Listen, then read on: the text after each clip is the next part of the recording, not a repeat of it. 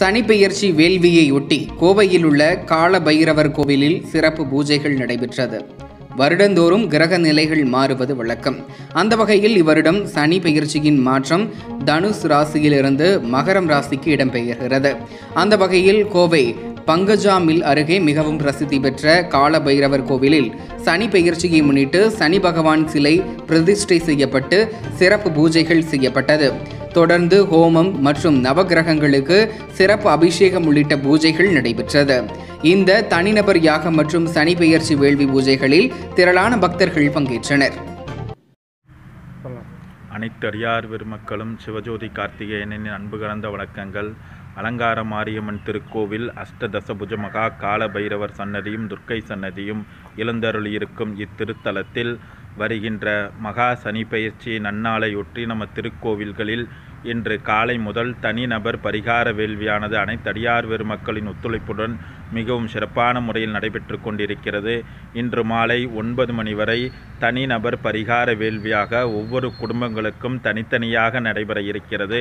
அதனைத் தொடர்ந்து சனிப்பெயர்ச்சி காலை ஞாயிறு அதிகாலை ஐந்து இருபத்தி ரெண்டு மணி என்பதால் அதிகாலை மூன்று மணி முதல் நான்கு மணி வரை ஹோம நிகழ்ச்சியும் நான்கு மணி முதல் ஐந்து மணி வரை ஒன்பது நவநிதிகளுக்கு அபிஷேக நிகழ்ச்சியும் சரியாக ஐந்து இருபத்தி ரெண்டு அதாவது சனி பெயர்ச்சி ஆகின்ற அந்த சரியான காலகட்டத்தில் சனி பகவானுக்கு மகா கலச அபிஷேகமானது நடைபெற இருக்கிறது.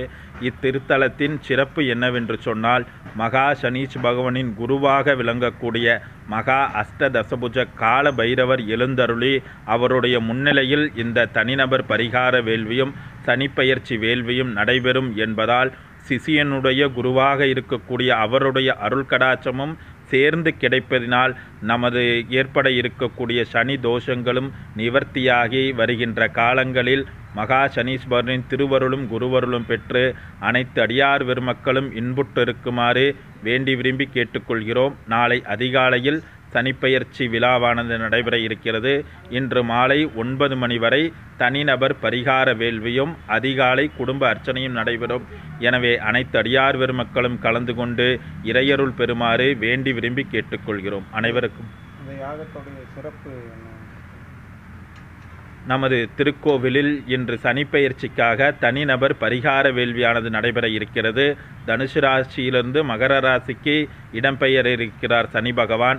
அதற்காக சனி பகவான் பார்வைப்படும் ஒவ்வொரு இடங்களிலும் ஒவ்வொரு விதமான பாதிப்புகள் ஏற்படும். அதற்காக முன்கூட்டியரே சனி பகவானிடம் நாம் ஒரு வேண்டுதல் வழி விண்ணப்பம் செய்யும் பொருட்டு இவ்யாக வேள்வியானது நடைபெற இருக்கிறது. இவ்வாகத்தின் சிறப்பு என்னவென்று சொன்னால் தனிநபர் பரிகார வேள்வி என்று சொன்னாலும் நாம் இருக்கின்ற வருகின்ற மூன்றாண்டு காலங்களில் சனி பகவான் தன்னுடைய வீட்டில் அமர இருக்கிறார். தன்னால் ஏற்படும் இன்னல்களை குறைத்து தர வேண்டும் என்பதற்காகவும் சனீஸ்வரனால் ஏற்பட இருக்கின்ற நன்மைகளை பெருக்கி தர வேண்டும் என்பதற்காகவும் இந்த சிறப்பு யாகமானது செய்யப்பட்டிருக்கிறது.